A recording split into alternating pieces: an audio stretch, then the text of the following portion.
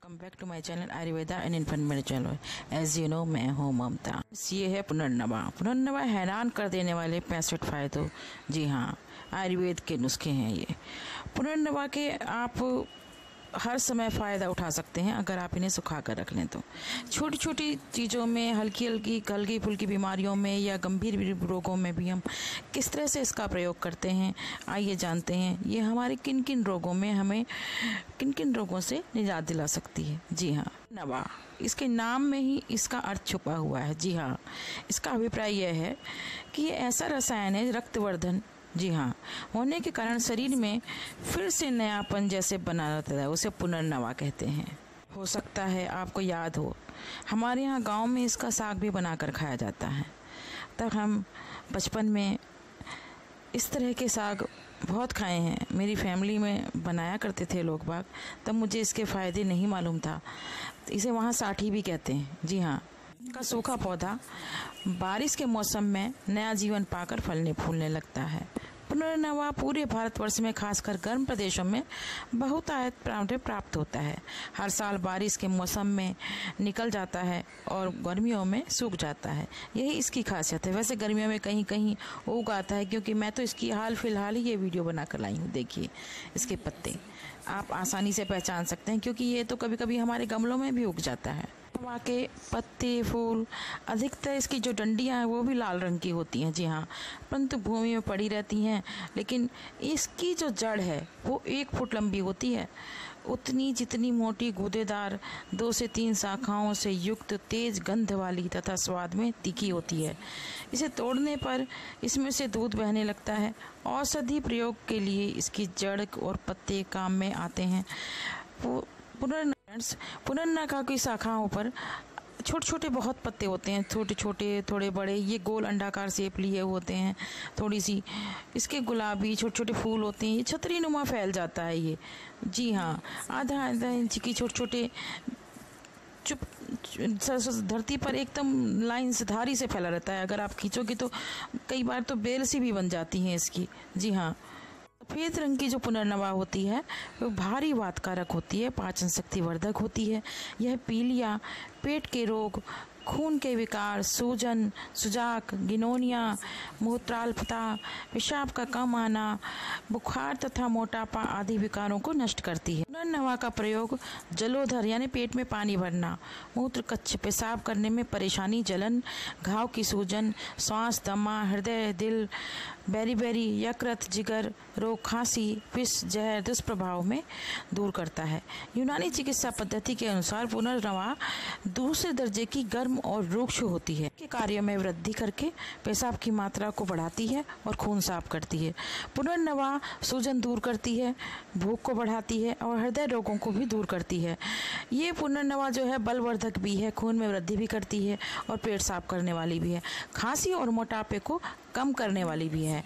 पुनर्नवा की मात्रा, नवा के पत्तों का रस 10 से 20 मिलीलीटर और जड़ का चूर्ण 3 से 5 ग्राम, बीजों का चूर्ण 1 से 3 ग्राम, पंचांग, जड़, तना, फल, पत्ती, इसका जो चूर्ण बना लें और 5 से 10 ग्राम। पुनर्नवा बहुत से रोगों में काम आती है। जी हाँ दिल के रोगों के लिए भी पुनर्नमा और अस्थमा के लिए भी काफ़ी फ़ायदेमंद है। लंबी उम्र के लिए, जी हाँ। ग्राम पुनर्नवा को रोज़ाना दूध के साथ छः महीने तक लगातार पीने से मनुष्य की उम्र बढ़ती है। मासिक धर्म, पुनर्नवा की जड़ और कपास की जड़ को बारीक पीसकर गर्म पानी से छान लें। जी हाँ फिर इस पानी को सेवन करें। मासिक स्राव में खून का अधिक आना तथा गर्भाशय के रोग दूर हो जाते हैं।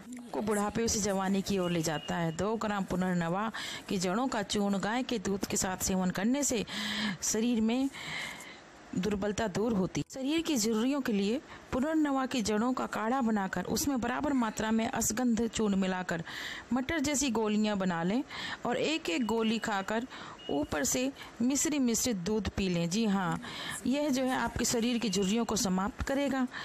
और इसका पंचांग जो है, इसका सारा फूल, पत्ती, जड़ सबको मिलाकर चूर्ण बनाकर अगर आप रख लेते हैं मिश्री के साथ सेवन करते हैं सुबह शाम तो आपको शरीर पर कहीं भी झुर्रियाँ नहीं आएँगी। आपको वृद्धावस्था को डिले कर सकते हैं। मूत्राघात, पेशाब में धातु का आना। दूध में पुनर्नवा के पत्तों का रस मिलाकर पीने से पेशाब आने वाला घात रुक जाता है। फेफड़ों की सूजन। पुनर्नवा की जड़ को थोड़ी सी सौंठ के साथ पीसकर सीने पर मालिश करने से सूजन, दर्द समाप्त हो जाता है। दिन में ना दिखाई देना। जी हाँ सफ़ेद पुनर्नवा की जड़ को तेल में घिसकर आँखों में लगाने से लाभ होगा। आँखों का फूला हो जाना। जी हाँ पुनर्नवा गहद पुरैना के पत्तों का रस। जी हाँ शहद के साथ मिलाकर आँखों में लगाने से आँखों के रोए और फूले आदि कष्ट दूर हो जाते हैं। कि जड़ के चूर्ण को घी में मिलाकर अंजन, काजल बनाकर लगाने से इससे आँखों का फूला हुआ जाला कट जाता है। इसे दो दिन में दो बार प्रयोग करना चाहिए। इसी में पुनर्नवा की जड़ का चूर्ण में शक्कर मिलाकर फाँकने से सूखी खांसी मिट जाती है। कनिका प्रदाह यानी आँखों की पुतली में जलन होना। जी हाँ पुनर्नवा की जड़ को साफ़ पानी में अच्छी तरह से धोकर पीस लें, फिर इसे शहद के साथ मिलाकर आँखों में रोज़ाना दो से तीन बार लगाने से आराम मिलता है। बिंद, विषक पड़ा, जो सफ़ेद फूल वाली हो, उसकी जड़ भंगरैया की पत्ते के रस में रस से घिस रोज़ाना दो से तीन बार आँखों में लगाने से काफ़ी आराम मिलता है। इसके कुछ दिनों के लगातार प्रयोग से मोता बिंद मोतिया बिंद जो आपकी आँखों में है, वो भी समाप्त होने के पूरे पूरे चांस रहते हैं। आँखों की रोशनी में चमक आ जाती है। रोग, यानी फेफड़ों में पानी भर जाना। लगभग 14 से 28 मिलीमीटर पुनर्नवा के रस का मिलीमीटर जो है पुनर्नवा के रस को दिन में दो बार सेवन करें। जी हाँ ये जो फेफड़ों में भरा हुआ पानी है, ये आपके कष्ट दूर कर देगा। छोटे छोटे से प्रभोग हैं, जैसे कब्ज। श्वेत पुनर्नवा को आप इसकी जड़ को पाँच से दस ग्राम चूर्ण ले लें और इसको सौंठ में मिलाकर दिन में दो तीन बार खुराक लेने से आपका पेट साफ़ होगा और कब्ज से निजात मिलेगी। अगर मूत्र रोग की कोई परेशानी है तो उसमें इसका साग बनाकर खाने से मूत्र कच्छ में लाभ होगा। भगंदर, पुनर्नवा, हल्दी, सौठ, हरड़, दारू हल्दी, गिलोय, चित्रकमूल, देवदार और भारंगी के मिश्रण का काढ़ा बनाकर पीने से सूजन वाले भगंदर में अधिक लाभ होता है। पुनर्नवा की जड़ और वरना की छाल को पकाकर काढ़ा बनाकर पीने से भगंदर में लाभ होता है। जलोधर जो समस्या है, इसमें क्या होता है? पेट में पानी भर जाता है और पेट फूलने लगता है। 40 से 60 मिलीलीटर पाँट गोल में एक से दो ग्राम सोरा मिलाकर डालकर पिलाने से जलोधर का रोग मिट जाता है। पुनर्नवा, अपामार्गा, चिरायता और सौठ को एक साथ लेकर काढ़ा बनाकर खाने से दिल के कार्य की, करने की क्षमता जो है वो बढ़ जाती है और जलोधर कम हो जाता है। कि सब्ज़ी खाने से इससे भी लाभ होता है जलोधर में। और पुनर्नवा, लाल गहत पुरैन। जी हाँ पत्तों या रस 10 से 20 मिलीलीटर पानी की मात्रा में सुबह शाम सौट के साथ सेवन करने से, पत्तों को पीसकर गर्म लेप करने से जलोधर के कारण पेट में उत्पन्न होने वाले दर्द में लाभ मिलता है। सूखे पुनर्नवा का प्लांट घोल बनाकर उसमें सोरा मिलाकर पीने से भी जलोधर में आराम मिलता है। मैं आपको ये बातें बार बार रिपीट कर रही हूँ ताकि आपको किसी भी तरह की कोई परेशानी ना हो इसे समझने में। इसके आप, मैं आपको लीव्स भी दिखा रही हूँ। ये मैं डायरेक्ट जाती हूँ और वीडियो बनाकर लेकर आती हूँ। ऐसा कोई चीज़ नहीं है जो दुर्लभ है। अगर आप खोजेंगे तो सब कुछ मिल जाएगा। हो सकता है कहीं आपके आसपास ही क्यारी में न खड़ा हो। घुटनों का दर्द पुनर्नवा के और कत्था को मिलाकर, काढ़ा बनाकर पीने से हड्डियों की कमज़ोरी दूर होती है और दर्द में आराम मिलता है। गठिया के रोगी को श्वेत पुनर्नवा यानी सफ़ेद गदपुरैना जी हाँ। को इसे गदपुरैना भी कहते हैं। इसलिए आप, मैं दोनों बार कभी कभी दोनों शब्द यूज़ कर देती हूँ। आप समझ जाइएगा। सब्ज़ी के रूप में भी प्रयोग करने से आपको लाभ मिलेगा। अंदरूनी फोड़ा। जी हाँ सफ़ेद पुनर्नवा की जड़ और वरुण की छाल को बराबर भाग में मिलाकर उसका चौदह से अट्ठाईस मिलीलीटर काढ़ा बना लें। इस काढ़े को 10 ग्राम शहद के साथ दो बार लेने से आंतरिक फोड़े के लाभ होगा। रोग। पुनर्नवा के पत्ते तीन से चार ग्राम और चार ग्राम काली मिर्च शरबत की तरह घोलकर पीने से पेशाब साफ़ होता है। हृदय की आंतरिक सूजन। पुनर्नवा के पत्ते का रस सुबह शाम 10 से 20 मिलीलीटर सेवन करने से आंतरिक और बाहरी दोनों प्रकार की सूजन में लाभ मिलता जो है स्नायु स्नायु तंत्र से जुड़ी हुई बीमारी है। नेहरुआ के रोगी को पुनर्नवा की जड़ को अदरक के रस में पीसकर घाव पर लगाएँ और सफ़ेद फूलों वाले पुनर्नवा की जड़ को उसके जूस के साथ घिसकर घाव पर लगाएँ तो नहरुआ में उत्पन्न सूजन मिट जाती है। स्तनों में जलन हो रही है। इसमें पुनर्नवा की जड़ का लेप बनाकर स्तनों पर लगाने से जलन और किसी के गर्भ में बच्चा भर गया हो। जी हाँ पुनर्नवा की 50 ग्राम ताज़ी जड़ का चून बनाकर 200 मिलीलीटर पानी में इतना पकाएँ कि 50 मिलीलीटर ही बच जाए। तब इसे छानकर इसका सेवन कराने से गर्भिणी महिला जो है मरा हुआ बच्चा जो है, प्रसव से प्रजनन हो जाएगा, बाहर निकल जाएगा। जानकारी के लिए बता दूँ, मुझे, मैंने ये प्रयोग किया नहीं है।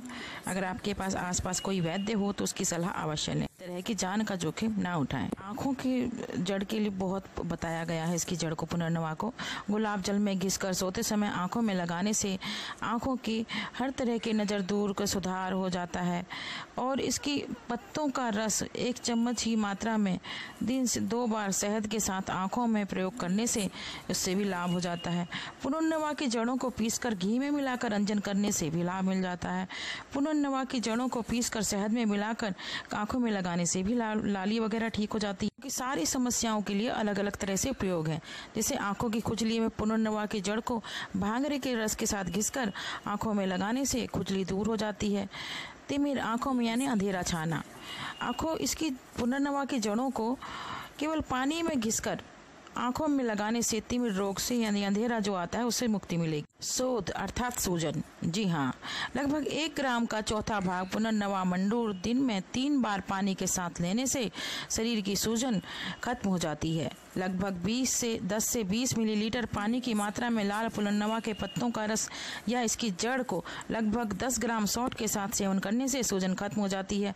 पुनर्नवा के पत्तों को पीसकर गर्म पानी में लेप पीसकर लेप करने से भी इसमें आराम मिलता है। पत्तों का रस, सौंठ, कुटकी और चिरायता को मिलाकर खिलाने से हृदय रोग में काम के कारण होने वाली सूजन में भी आराम मिलता है। पुनर्नवा के पत्तों को सब्ज़ी के रूप में खाने से शरीर में आई हुई सूजन ठीक हो जाती है। पुनर्नवा के पत्तों की सब्ज़ी रोज़ाना सेवन करते हुए इसकी जड़ अर्थात चम्मच की मात्रा से आधा नौसादर और गर्म पानी के साथ सुबह शाम पीने से तुरंत सूजन में आराम मिलता हम पूर्ण पुनर्नवा की जड़ ले लें और नागर मोथा को लेकर कल लुगदी बना लें। जी हाँ। फिर इसे 640 मिलीलीटर गाय के दूध में पकाकर वात्स्य शोध के लिए, रोग के लिए, जी हाँ सुबह शाम पीने से लाभ होगा। पुनर्नवा की जड़ों, देवदारू तथा मुरवा को मिलाकर तीन ग्राम की मात्रा में शहद के साथ लेने से गर्भावस्था में उत्पन्न शोध सूजन उतर जाती में शोध। पुनर्नवा की जड़, चिरायता और सुंठी तीनों को मिलाकर बराबर मात्रा में लेकर रख लें। फिर इस मिश्रण को 20 ग्राम की मात्रा में 400 मिलीलीटर पानी में पकाएँ। जब यह एक चौथाई शेष बचे तो काढ़ा बनाकर इसे पीने से सूजन में आराम मिलेगा।